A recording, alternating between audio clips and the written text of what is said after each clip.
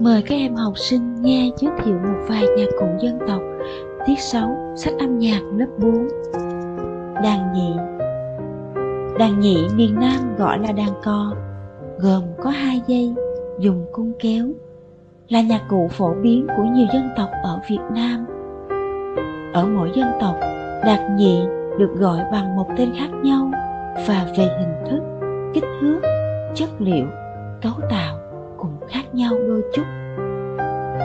Đàn nhị có thể mô phỏng tiếng gió xích, tiếng chim hót, tiếng cười và cả tiếng khóc của trẻ thơ.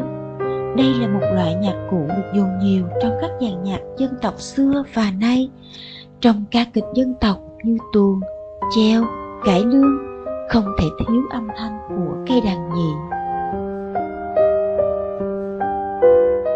Đàn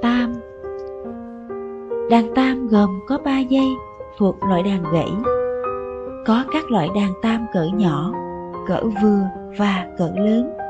Hầu hết các dàn nhạc dân tộc xưa và nay đều dùng đàn tam. Màu âm của đàn tam tươi sáng, vang và ấm. Ở khoảng thấp tiếng hơi đục, nó có khả năng diễn tả những nhạc điệu sôi nổi, khỏe khoắn, trầm hùng hoặc rộn rã, vui tươi khi đàn, người ta dùng miếng gậy bật vào dây, hất lên, hất xuống. Đều đặn tạo thành tiếng vê giòn giả.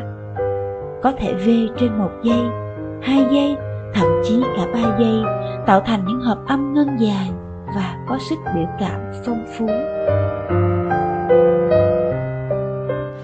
Đàn tứ Đàn tứ là loại nhạc cụ gãy, có bốn giây nên gọi là đàn tứ bầu đàn tròn giống đàn nguyệt, nhưng đàn dài ngắn hơn đàn nguyệt.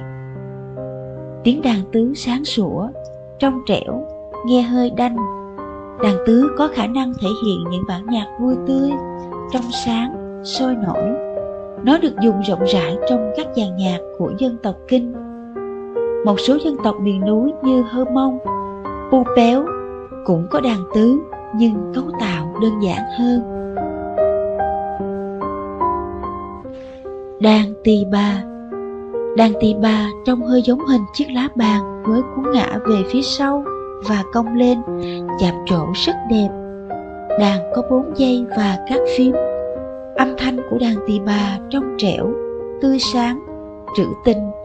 Màu âm hơi giống tiếng đàn nguyệt nhưng có phần đanh và khô hơn.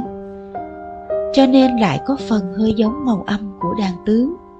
Có thể dùng đàn tỳ bà độc tấu hoặc sử dụng trong dàn nhạc dân tộc. Người ta xếp đàn này vào nhóm nhạc cụ gãy. Các em thân mến, phần giới thiệu một vài nhạc cụ dân tộc Việt Nam đến đây là hết rồi. Chúc các em luôn học giỏi, chăm ngoan. Chào tạm biệt các em.